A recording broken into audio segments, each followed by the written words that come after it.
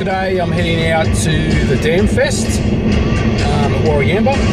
It's a festival held at Warragamba Dam, so there should be some car shows and other events there, so it should be fun.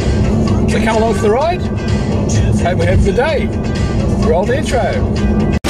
Cause we are one,